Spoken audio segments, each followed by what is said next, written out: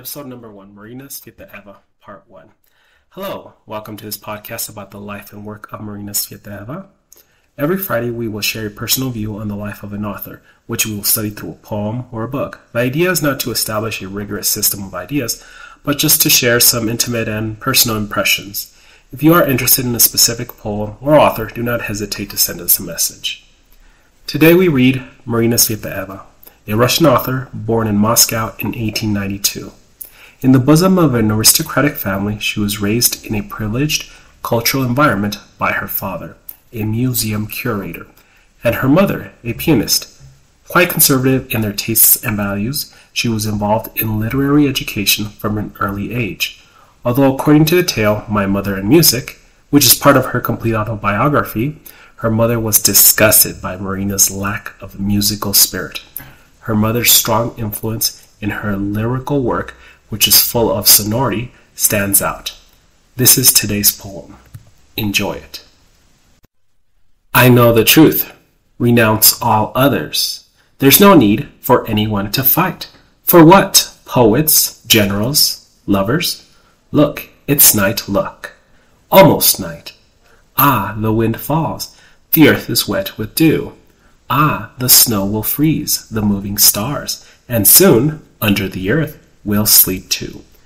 Who would never be left to sleep above? October 3rd, 1915.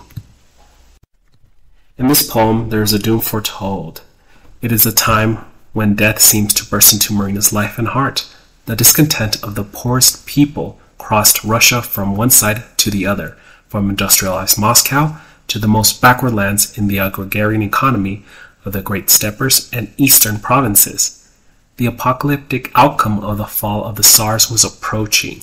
The power of the royal family was collapsing before the helpless eyes of those who believed in tradition and royal power.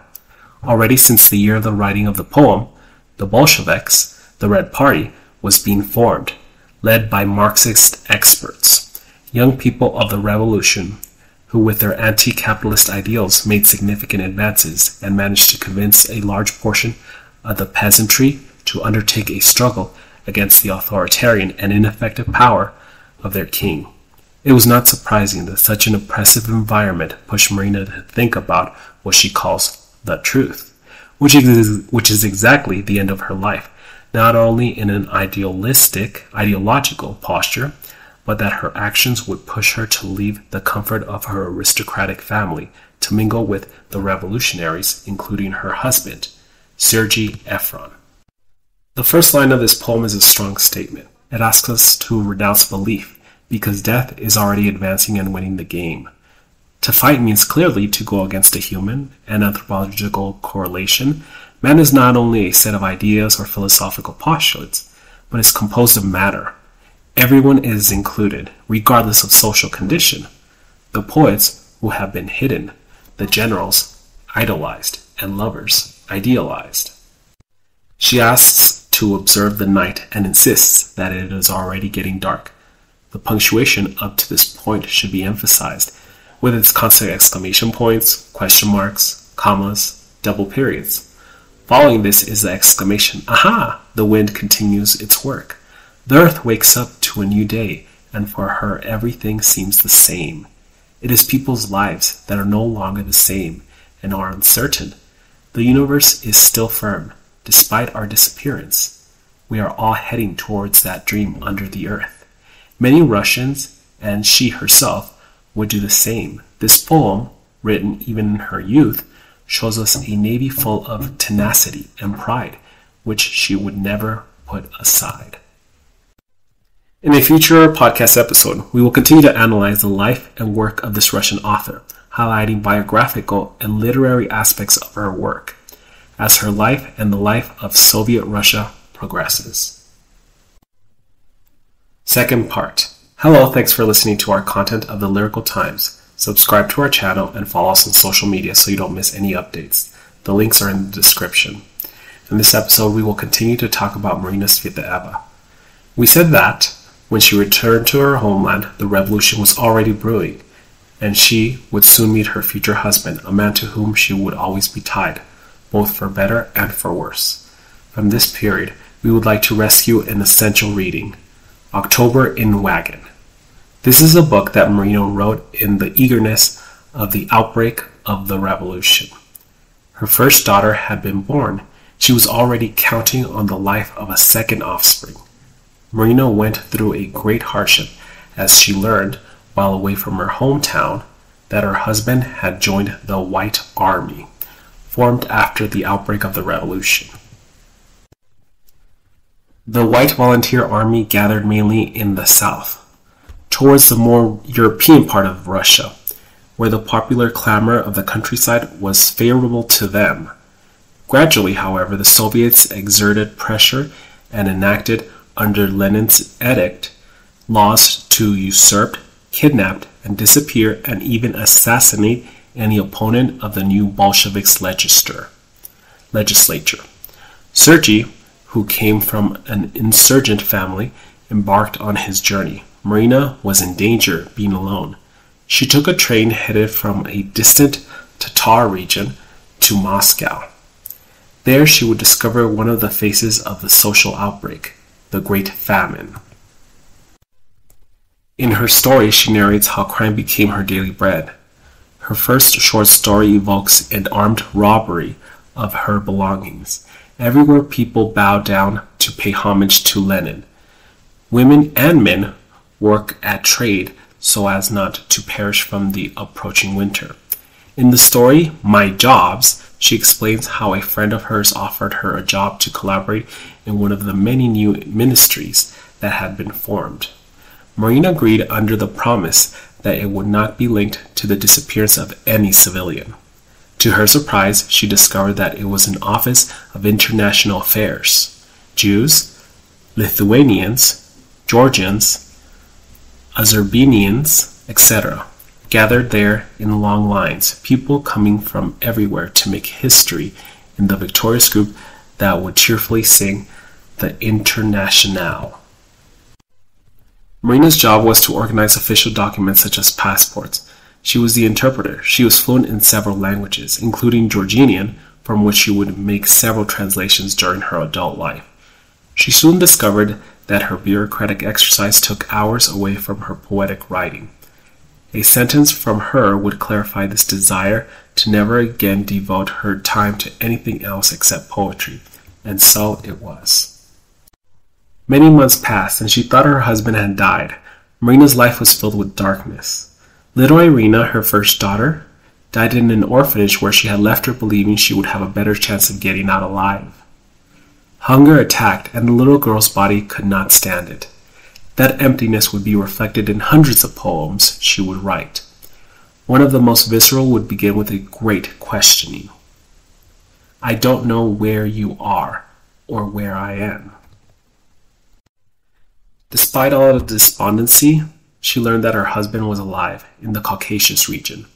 She had taken refuge with friends of his. Eventually, they decided that because of her ideals, Russia had become unbearable for them.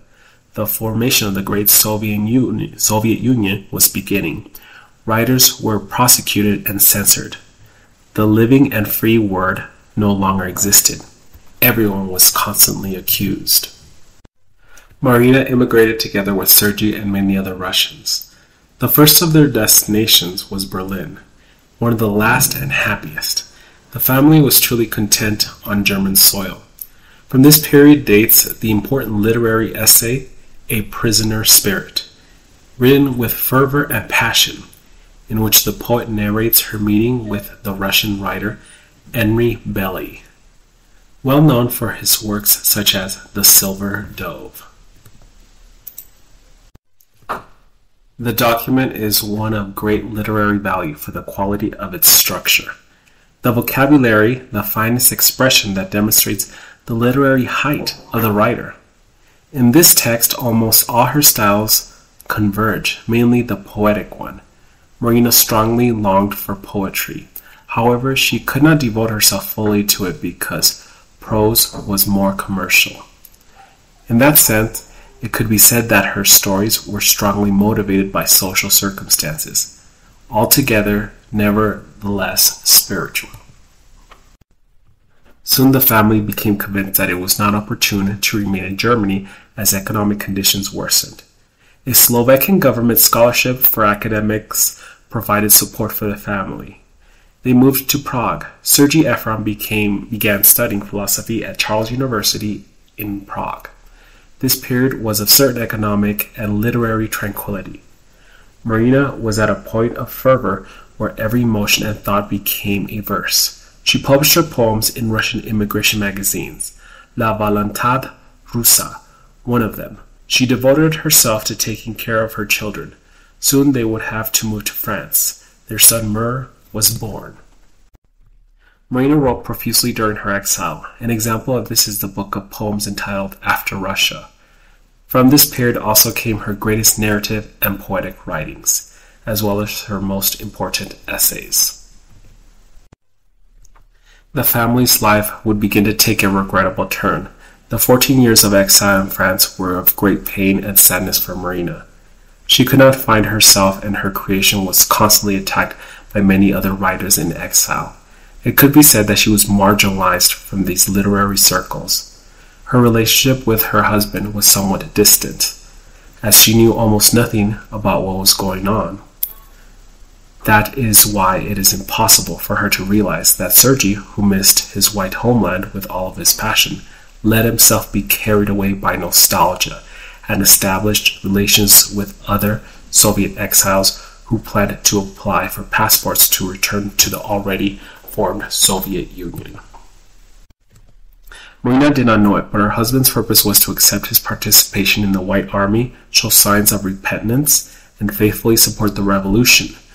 Sergei wanted to return to his homeland, and for that he would pay the price of being disloyal to that was his anti-Bolshevik cause during several years of exiles.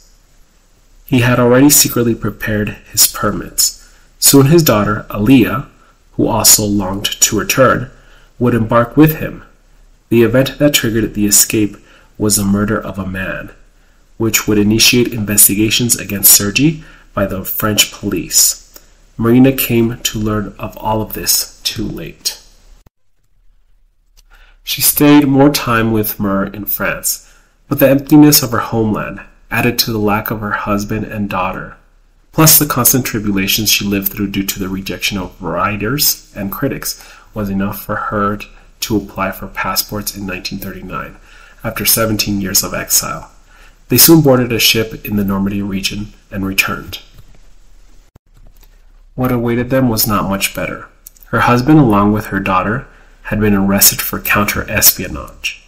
In the letter Marina writes to Officer Beria, she explains everything about her life and that her husband, in an attempt to dissuade him from any kind of reprisal the authorities might take against them. The darkest period of Marina's life began.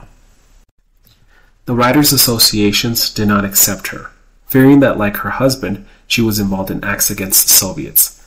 The stigmatization forced her to isolate herself.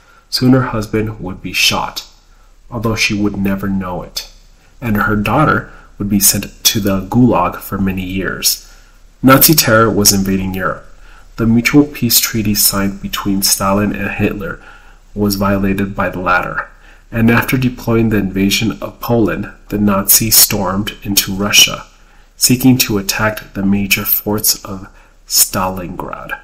Due to the invasion and the threat to Moscow, Marina and her son were evacuated to a small residence in Yelabuga, in the inhospitable region of Tartaristan. There, economic hardships and rejections from the Writers' Guild would follow. Marina, desperate, requested a job as a dishwasher. By the time she was given the job, it was too late. She was deeply affected by what she had lived through, and on August 31st, 1941, at the age of 49, she decided to commit suicide in the little house she had rented and which belonged to some peasants in the region. Her son's fate would be cut short, as he would die in the war. Marina died, but her work will live on and to this day is studied with praise by critics. She dedicated her life to the poetic word and that is why her verses still resonate today. One of the most memorable quotes could be In the spasm of death, I will also be a poet. This recording was made by Fernando Hernandez. The text was written by Sebastian Moreno for the Lyrical Times. Thanks for listening. Check out our social media resources.